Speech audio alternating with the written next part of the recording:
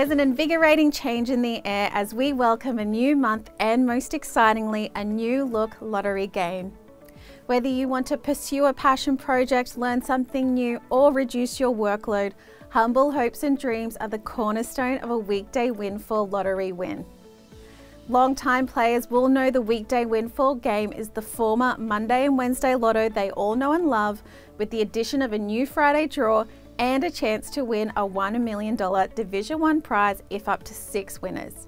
While the first weekday windfall draw takes place on the 20th of May, tickets are available to purchase in-store, online and via the Lott app from today.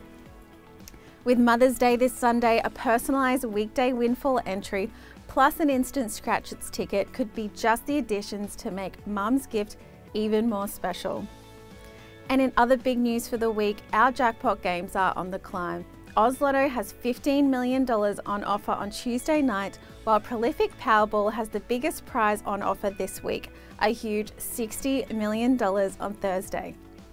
Jackpot draws close at 7.30pm Australian Eastern Standard Time on Tuesday and Thursday nights, and the only way to be in with a chance to change your life is to grab an entry.